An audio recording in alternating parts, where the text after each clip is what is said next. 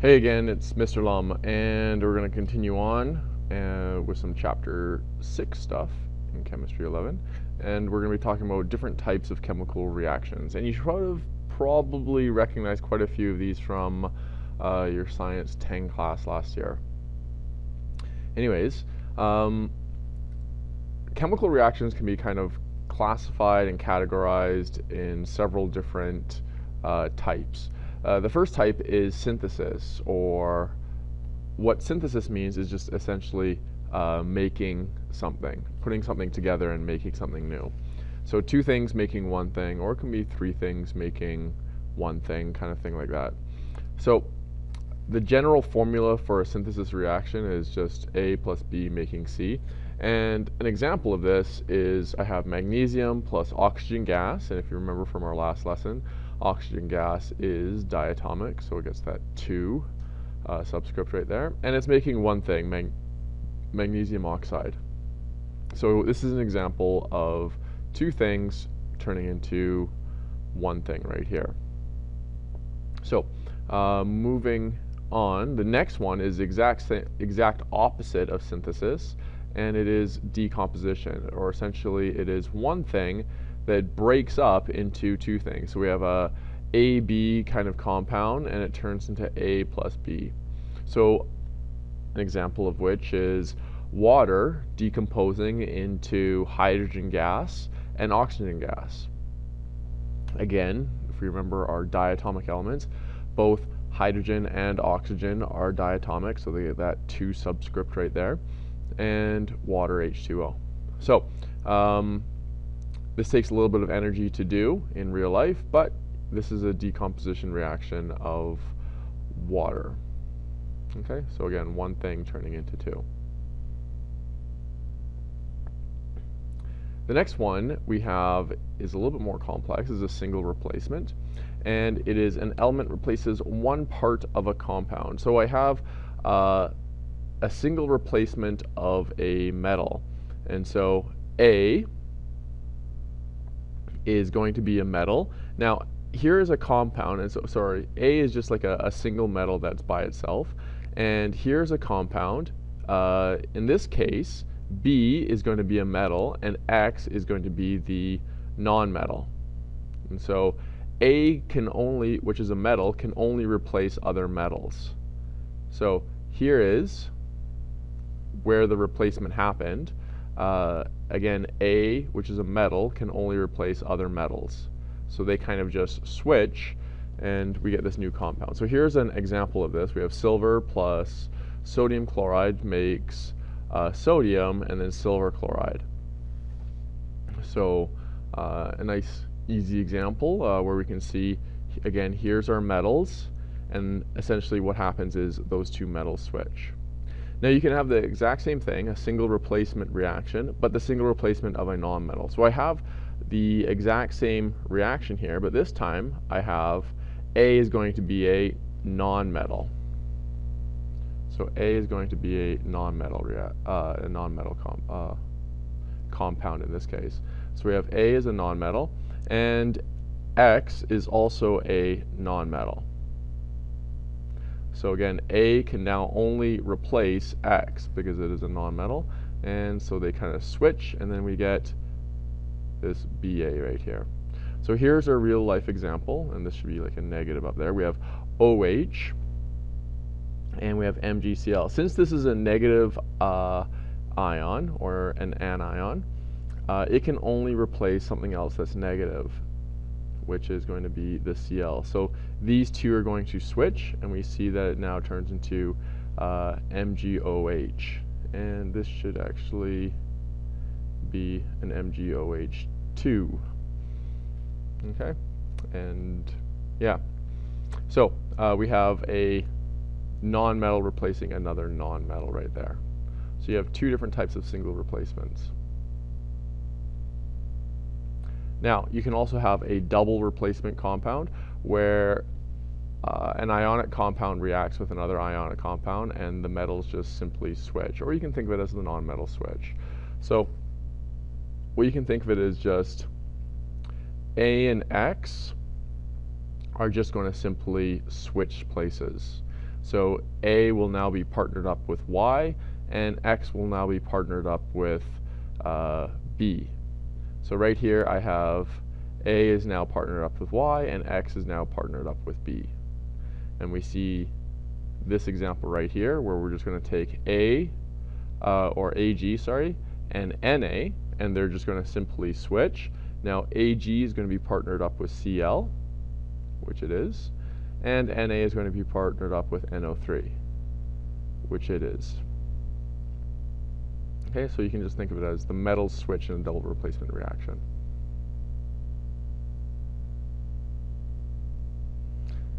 Now, a neutralization reaction is exactly like a double replacement reaction. However, the only difference is, is that a neutralization reaction occurs between an acid and a base.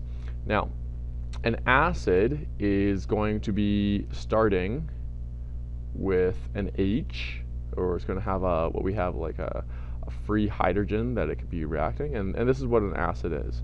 And in this case, a base is going to be OH minuses. These are what we call our strong bases.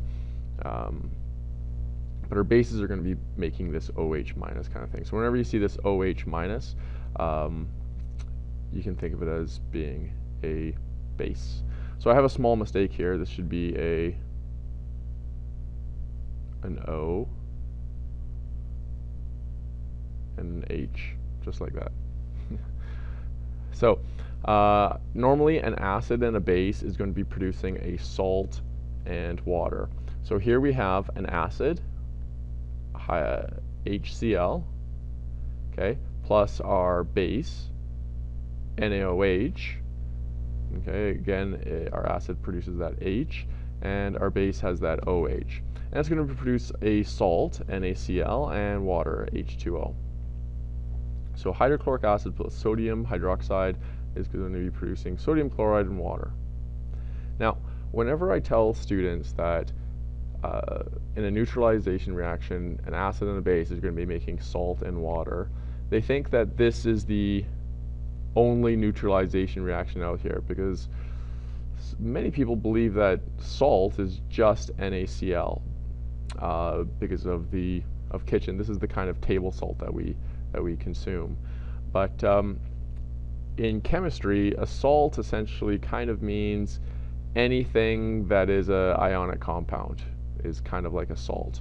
So here I have another example of nitric acid. Okay, again, it has that H, so we know it's an acid. And we, we have KOH, or potassium hydroxide, and it has that OH, so we know it's a base. And it's going to be producing potassium nitrate and water. Now this potassium nitrate, this is also going to be our salt.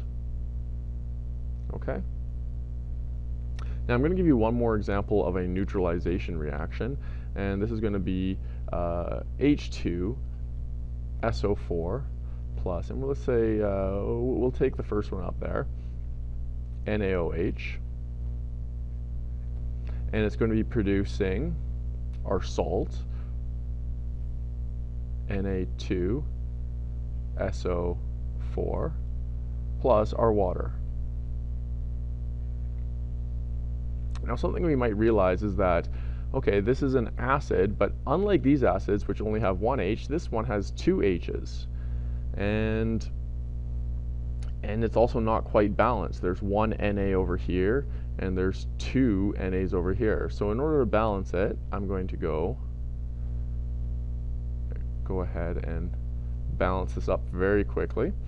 Um, but we have H2, SO4, and it's going to be making two NaOHs, um, or combining with two NaOHs, and producing sodium sulfate and two waters. So just make sure it's balanced. I have two NAs over here, and I have two NAs over here. Okay, check. I have an SO4 on this side, SO4 on this side. I have one, two, three, four hydrogens on this side, and I have four hydrogens and two oxygens, two oxygens. Everything's good. Okay.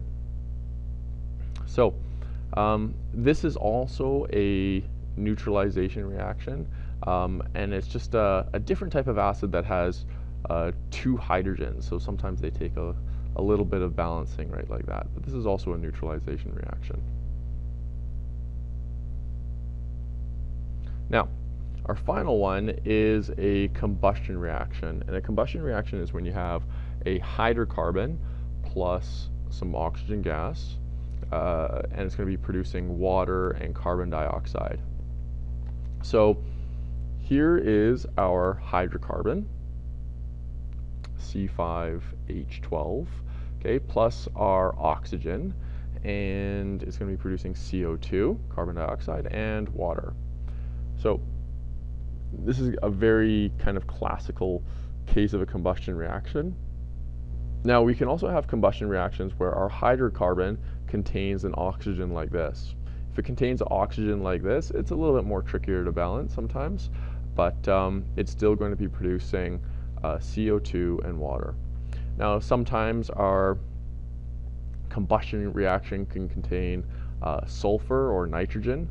Uh, so here's one that contains sulfur and we have sulfur inside of the hydrocarbon and it'll still be producing carbon dioxide and water but it'll also have this other thing okay this sulfur dioxide um, that'll also be produced and this is how often you sometimes get uh, uh, acid rain this SO2 can will if you burn this like in an industry or a factory, this SO2 will get in the atmosphere and it can produce like sulfurous acid um, up in the atmosphere and it'll rain. And this is one of the causes for acid rain.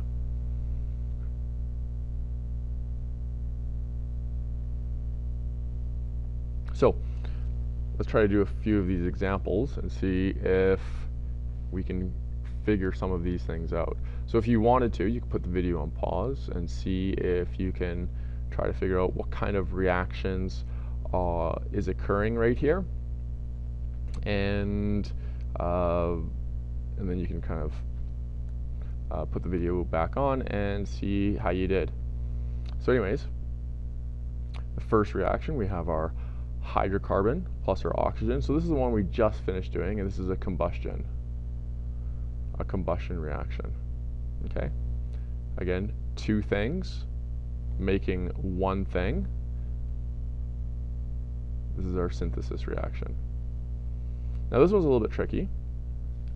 Okay, we have magnesium plus water and what's going to happen is this hydrogen is kind of acting like uh, one of these hydrogens is kind of acting like a metal and the magnesium is replacing it. Okay, so this is going to be a single replacement reaction. In this one right here, we have a metal, non-metal, metal, non-metal, and what we see is the PB and the K switch. Now PB is paired up with I and K is paired up with NO3, so this is going to be our double replacement reaction. We have um, an H and an Na. These things are going to switch and it's going to be Na is going to combine with the Br now and the H is going to comply, combine with the OH and make H2O. So this is a double replacement reaction. However, this is also an acid and this is the OH and this is something that we should start to try and recognize the OH.